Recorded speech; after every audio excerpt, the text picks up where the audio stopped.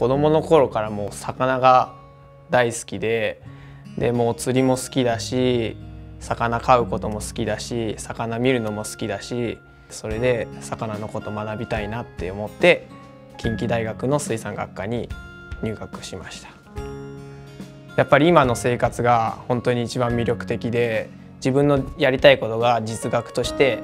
やれるってところが一番良かったところです。僕の卒業研究のテーマは、まあ、味を水温別で飼育して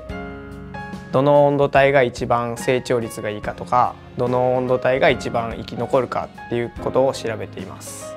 まあ、味っていうのは今天然に依存してて完全養殖はされていないんですよだからその完全養殖のためのデータの一歩として僕の、えーと、データが活かせればいいなって思ってクロマグロの完全養殖のニュースを新聞で見て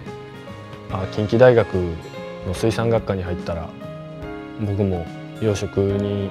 携われるのかなと思って入りました。入ってみたら、まあ、ヒラメであったりマダイであったりいろんな魚種やってるんだなっていうのは思いました。僕の卒業研究のテーマはクエの品種改良です、えっと、クエは成長が遅いので養殖にはあんまり向いてないんですけどタマカイという同じハタカ魚類の魚は成長が早くてその2匹を掛け合わせてクエの味で成長の早いような魚を作ろうとしています。研究は一人でやってるんですけども作業であったりっていうのは、えー、周りの方に手伝っていただいてます。いろんな作業も効率よくできるし何よりみんなでやると楽しくできるので水産学科ってさどんな学科だと思う？水産物に対していろんな視点からアプローチするような学科、うん、うん、確かにな。俺らさあ